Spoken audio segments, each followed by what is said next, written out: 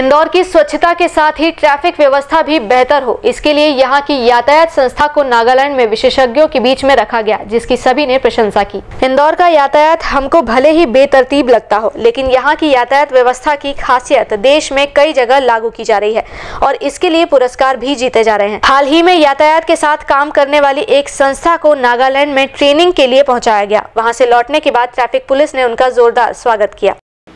जैसा कि आप अभी आज ही मैं लौटा हूँ north east police academy Shillong से। तो वहाँ पर मैं पिछले रविवार को गया था तो लगभग सात दिन का हम लोगों का एक वर्कशॉप था जिसमें ट्रैफ़िक मैनेजमेंट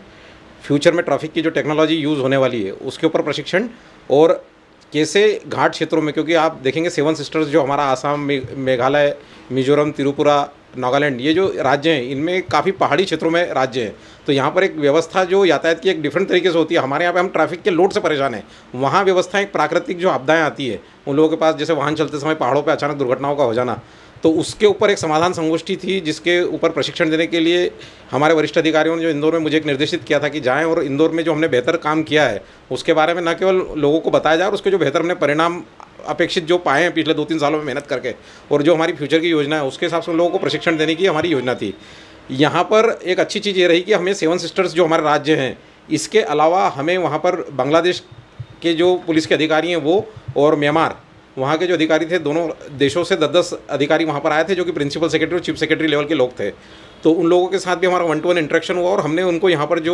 चूँकि हमारा भारत इन राज्यों, देशों से डेफिनेटली आगे है कई चीज़ों में तो हमने जो यहाँ पर काम कर रहे हैं और जो अच्छी प्रैक्टिस है हमारी, उसके बारे में हमने वहाँ पर बताया और उसके बारे में बहुत सफलतापूर्वक मतलब चीज़ों का बताना, उसके बाद उसका बेहतर परिणाम और उसके बाद जो फीडबैक लिया गया तो आपको हम बता दें कि लगभग एट्टी लोग,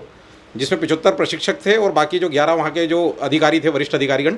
तो ये लोग थे और हमारा 84 लोगों ने हमारा जो फीडबैक था, उसमें 100 आउट ऑफ़ 100 मतलब 99 भी एक भी नंबर नहीं था। मतलब 100 आउट ऑफ़ 100 हमारा फीडबैक इंदौर पुलिस का और कहीं ना कहीं जो हमारा जो प्रेजेंटेशन था और हमने जो अचीवमेंट्स रही इस काम में। तो उसमें हमने उन लोगों को बताया और हमारे जो बेहतर परिणाम है उन्होंने, और उसके बाद में वहाँ पर जो शिलोंग पुलिस है, मैंने शिलोंग पुलिस को भी ट्रेनिंग दी, उसके बाद सीमा सुरक्षा बल का वहाँ पर क्षेत्रीय कार्यालय है शिलोंग में। मैं वहाँ भी गया तो बीएसएफ के जितने गार्ड्स थे कोस्टल गार्ड्स थे, फिर मैं आसाम में आया, गुवाहाटी में। मैंने वहाँ पर एनडीआरएफ की ट्रेनिंग की भी टीम को ट्रेनिंग दिया, ब्रह्मपुत्र नदी के किनारे तो उसके सारे फोटोग्राफ्स वगैरह मैं लेके आया हूँ। तो ये हम, मेरे साथ साथ हमारे इंदौर पुलिस का भी एक बहुत बड़ी उपलब्धि है, हमारे वरिष्ठ अधिकारियों की उपलब्धि है, जिनके मार्गदर्शन में हम थोड़ी थोड़ी चीज़ें जो यहाँ करते हैं, निश्चित रूप से हमने पूरे देश के लिए कम मैसेज बनाएँगे उसके लिए हम बेहतर ट्रैफ़िक बेहतर इंदौर के साथ, बेहतर देश, और बेहतर देश का ट्रैफ़िक बने, उस पर हम काम करने का प्रयास कर रहे हैं आप लोगों के साथ।